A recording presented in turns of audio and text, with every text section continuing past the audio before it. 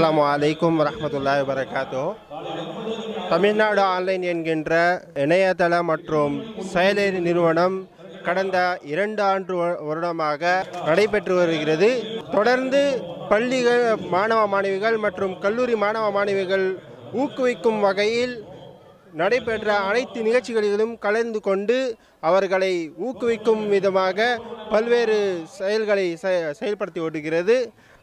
அதன் ஒரு பகுதியாக இன்று ஆஸ்க் ஃபவுண்டேஷன் நிறுவன தலைவர் சயித் அவர்கள் ஏற்படுத்திய ஒரு மிகச்சிறப்பான ஒரு நிகழ்ச்சியான ஃபார்மர்ஸ் என்கின்ற விவசாயிகளுக்கு பெருமை சேர்க்கும் விதமாக நடைபெற்ற இந்த உலக சாதனை நிகழ்ச்சியில் எங்களை அழைப்பு கொடுத்து அதை மிக சிறப்பாக நடத்தி எங்களுக்கு வாய்ப்பு கொடுத்த ஆஸ்க் ஃபவுண்டேஷன் மட் நிறுவனங்களுக்கு மிக மனமார்ந்த நன்றியை தெரிவித்துக் கொள்கிறோம்.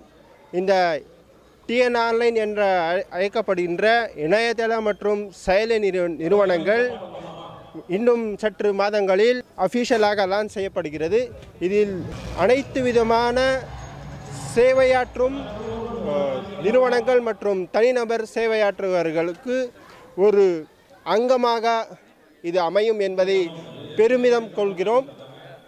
இது போன்ற சேவைகள் ஏற்கனவே நடைபெற்று கொண்டிருக்கிற பல்வேறு செயல் நிறுவனங்கள் வந்து தனிச்சையான முறையில் ஒரு ஒரு சேவைகளை மட்டும்தான் தொகுத்து கொடுக்கிறார்கள்.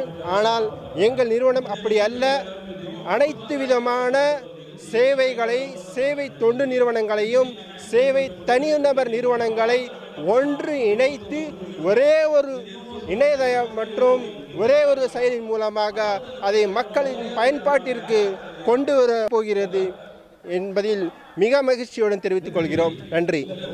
விவசாய மக்களின் அவர்களுடைய பொருட்களை சந்தைப்படுத்துவதிலும் அந்த சந்தைப்படுத்துகின்ற அந்த செயல்படுத்துகின்ற நிறுவனங்கள் எங்களுடைய இணையதளம் மற்றும் செயலி மூலம் அவர்களை கொண்டு வந்து அதை சந்தைப்படுத்துவதில் மிக தெளிவாக மக்களின் பயன்பாட்டிற்கு இலவசமாக கொண்டு செல்கிறோம். அதை சேவை செய்கின்ற தொண்டு நிறுவனங்கள் செயலாற்றுகின்ற நிறுவனங்களுக்கு மிக எளிமையான கட்டணங்களை வசூலித்து கொண்டு அவர்களும் பயன்பெற்றும் வகையில் விவசாயிகள் எளிமையான கட்டணங்களில் அவர்களுடைய விளைவிக்கின்ற பொருட்களை மக்களின் மத்தியில் அதை விளைச்சல் எளிமையான விதத்தில் அவர்களுக்கு கொண்டு சேர்க்கப்படும் என்பதில் இந்த செயலி மற்றும் இணையதள இந்த இந்நிறுவனம் டிஎன் ஆன்லைன் டாட் என்கின்ற நிறுவனம் இதை தொடர்ந்து செய்யும் என்பதை நான் நம்புகின்றேன்.